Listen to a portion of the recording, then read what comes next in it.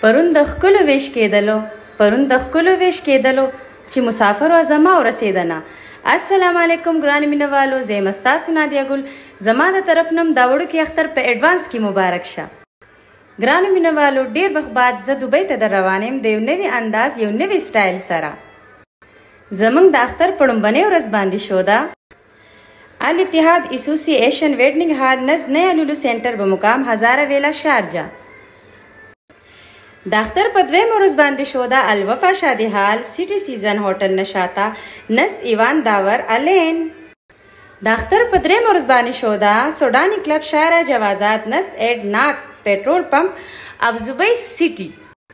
او په وم تاریخ باندې شو د بروز هفته مصري وزرا ثقافه بدزید او په اتم مئی بروز اتوار د لسکو ایونټ ارینا نیو ګرینډ سیټي مال نه شاته نسټ انډسټریز ایریا فور الکوز دوبۍ کې ګران مینوالو د دې شو پروډوسر دی سلیم حیدر او د دې شو نوم دی محفل د ښکلو په دې شو کې زموږ سره ماسټر علي حیدر هم دی په دې شو نه به تاسو لایف مزه هم اغستی شئ په دې شو کې زمونږ سره نور هم ډیر خسته خسته ګلونه دي کم چې په فوسټر کې دي هغه ټول به راځي ان شاء الله د دې شو چیف ایگزیکټو کیپټن غیور خان دی او د دې شو سی او پروډوسر چې کم دی هغه امان شاعر دی مونږ ټول به تاسو انتظار کوو ضرور به راځئ والسلام